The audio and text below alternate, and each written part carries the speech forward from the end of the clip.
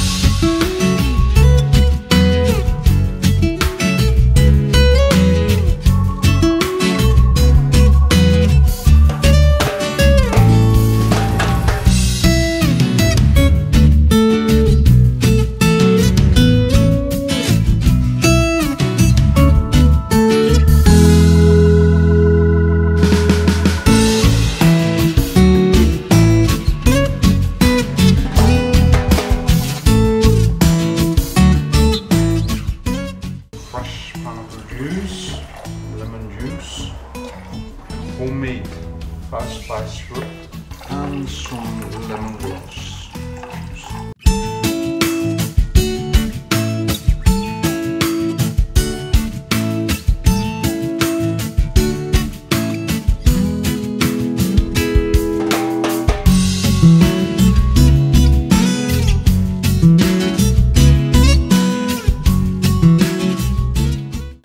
At Long Beach with the mixologist Jack. He's just done a wonderful performance for us and he's made a papaya twister. So I'm going to try this now. Apparently it cures all evils. In fact, it's going to make me a single figure golfer. Ooh! That's like sherbet. So sweet to start with and then it comes back and kicks you. It's wonderful. Wow.